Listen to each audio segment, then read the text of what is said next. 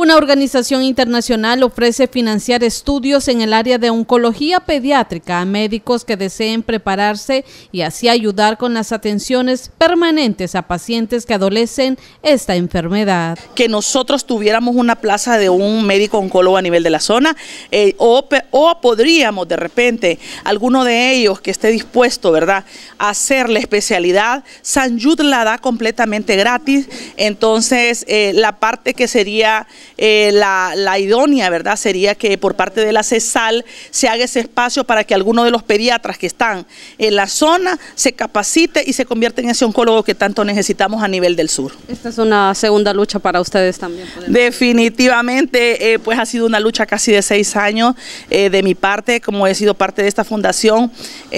nosotros realmente vivimos el día a día, ¿verdad? Luchando, haciendo actividades para estos niños. Sin esas actividades los niños no podrían luchar contra esa cruel enfermedad como es el cáncer. Eh, no solamente soy yo en este equipo, existe un grupo de voluntarios, existe, un grupo de médicos, existe un grupo de enfermeras que son parte aliada a todo este proceso en el cual nosotros eh, prácticamente luchamos el día a día para que nuestros niños eh, no lleguen a ser cuidados paliativos y que se haga una baja de parte de Fundación. Para suplir esta necesidad brindan esta opción, pero también le piden a las autoridades hospitalarias y demás gestionen un médico de esta especialidad. Para Metro TV Noticias, el canal de la familia y Radio Ilusión en la 107.5, soy Karen Sauceda.